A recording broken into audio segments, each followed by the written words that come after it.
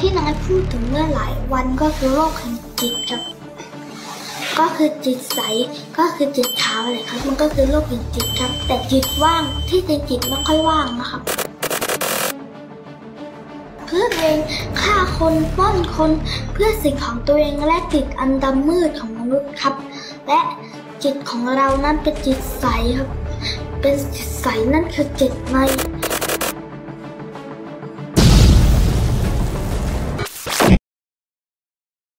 เป็นประเด็นร้อนแรงต่อเนื่องสำหรับดราม่าน้องไนซ์ที่อ้างตัวเป็นลูกของพระพุทธเจ้า สอนธรรมะด้วยวิธีการเชื่อมจิต ซึ่งหลังๆ มีวิธีการซูมและกระจายจิตตามมาอีกทำเอาชาวพุทธถึงกับงงไปตามๆกัน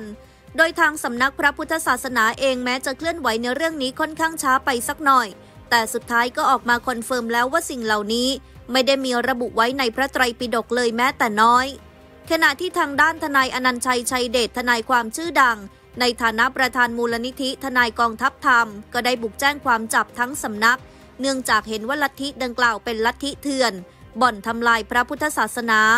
ขณะที่หนุ่มกัญชัยพิธีกรชื่อดังได้เชิญผู้ที่แจ้งความเอาผิดลัทธิเชื่อมจิตมาออกรายการโหนกระแส โดยมีการถกเถียงกันอย่างกว้างขวาง โดยหนุ่มกัญชัยยังประกาศด้วยว่า ตอนนี้ส่งทนายไปแจ้งความกับลัทธิเชื่อมจิตแล้วเช่นกัน พร้อมยืนยันว่าพ่อแม่น้องไนซ์มีความผิด ตามพรบคุ้มครองเด็ก ต่อมาแม่น้องไนซ์เชื่อมจิต ส่งทนายความเลื่อนเข้ารับทราบข้อกล่าวหาสอนอทองหล่อ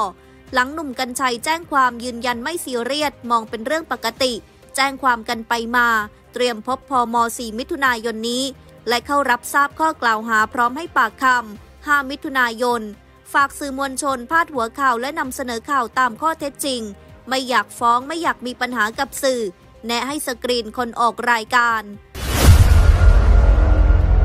ล่าสุดชาวเน็ตต่างพูดถึงคลิปที่น้องไนท์สอนธรรมะเรื่องจิตที่มีทั้งจิตใส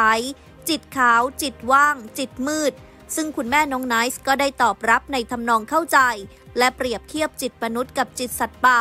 โดยให้เหล่าบรรดาลูกศิษย์ตอบว่าใครน่ากลัวกว่ากัน ที่นายพูดถึงเมื่อหลายวันก็คือโรคแห่งจิตครับ ก็คือจิตใส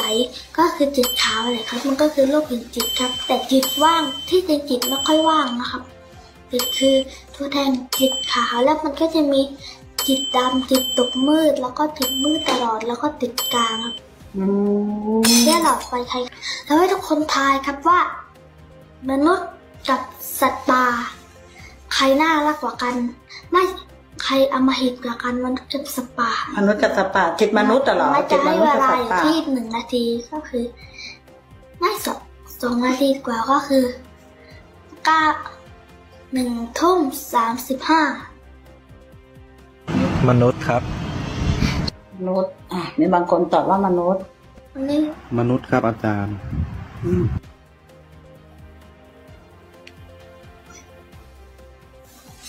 เอาหลายคนตอบว่าเป็นมนุษย์ มนุษย์เพราะมนุษย์อะคือการฆ่าสัตว์เพื่อเองฆ่าคนปล้อนคนเพื่อสิ่งของตัวเองและติดอันดำมืดของมนุษย์ครับ และจิตของเรานั้นเป็นจิตใสครับ เป็นจิตใสนั่นคือจิตในในสิ่งที่เราคิดว่าจริงๆคือจิตใสแต่ที่จริงแล้ว จิตของเราเป็นจิตขาวครับ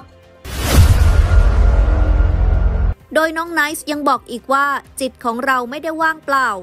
จิตของเรามันใสสะอาดเหมือนสีขาว ซึ่งคุณแม่ก็เข้าใจดีและพยายามขยายความต่อ จิตของเราไม่ได้ว่างเปล่าครับจิตของเรามันใสสะอาดเหมือนสีขาว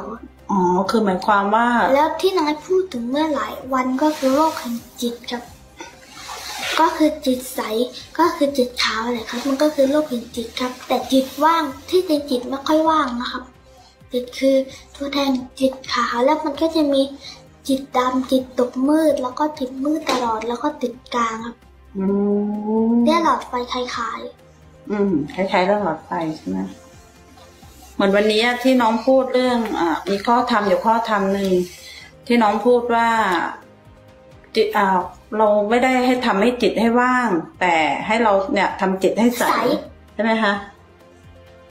ที่น้องบอกว่าถ้าจิตว่างเหมือน มันเหมือนกูเหมือน Google จิตจิตจิตใสอะไรมันเหมือนจิตในร่างกายมนุษย์ จิตว่าง มันคือว่างทุกอย่างเป็นจิตใสมันเหมือน Google นะคะไม่ไม่ผิดผิดแล้วออืมนิสัยเหมือน Google ที่สามารถหาได้ค้นหาได้ไม่มีที่สุดอ๋อจิตใสเหมือนเหมือน Google ที่หาหา เราสามารถหาข้อมูลได้ แต่ไม่ใช่ว่างเปล่าอ๋อ ถ้าถ้าจิถ้าตถ้าว่างมันจะไม่มีข้อมูลอะไรเลยอ๋ออืมก็คือสิ่งที่ทำให้สามารถเช้า ซึ่งชาวเน็ตก็ได้แสดงความคิดเห็นกันมากมายเช่นเดิมบ้างบอกว่า พยายามทั้งครอบครัวจะเป็นลูกเทพให้ได้ ลูกไม้หล่นไม่ไกลต้น ได้แม่ได้พ่อมาเต็มๆ ยังไม่เลิก ใครฟังรู้เรื่องบ้าง แม่เข้าใจคนเดียวเชื่อสิ นอกนั้นมีใครเข้าใจไหม จิตใสเหมือน Google เลอะเทอะจริง ๆ กูงง หรืออีกความเห็นที่บอกว่า พอแล้วแม่สงสารเด็กไนซ์มาร่วมสนับสนุน Top News นำเสนอความจริงได้แล้ววันนี้ เพียงกดปุ่ม Super Thanks แล้วเลือกจำนวนเงินตามที่ต้องการได้เลยครับ ขอบคุณครับ